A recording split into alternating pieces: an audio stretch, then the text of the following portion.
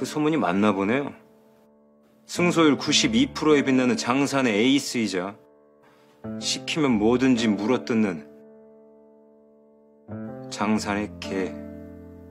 무슨 개래요? 나는 시추각이 없던데 기왕이면 아 나도 시추 좋아하는데. 씨.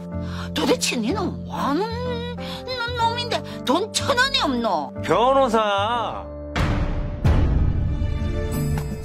너 돈 많아? 내 변호사 수임료 6분에 4만 5천 원이야 그거 감당할 수 있겠어? 아니 아니 내가 아까 피임약 두 알 먹었거든. 아니 피임약을 왜 이거 하루에 두 알 먹어도 되나요?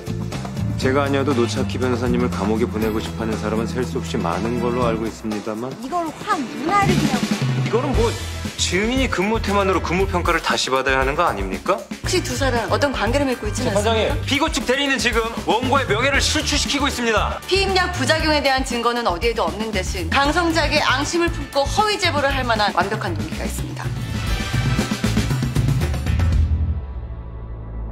잘못인 줄 알면서 왜 그랬어? 기억하는 사람이 사라지면 진실도 사라지니까. 영문도 모른 채 걷잡을 수 없이 화가 나죠.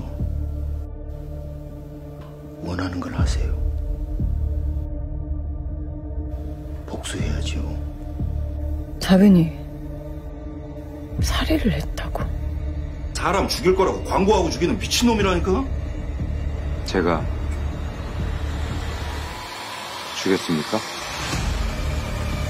저시면 이제 시작인데 어떻게 그만해요?